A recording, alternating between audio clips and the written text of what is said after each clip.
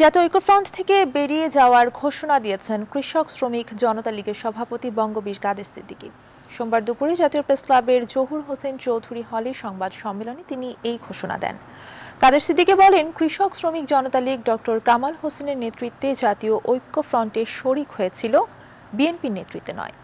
নির্বাচন পরবর্তী সাত মাস ঐক্যফ্রন্টের অস্তিত্ব খুঁজে পাওয়া যাচ্ছে না।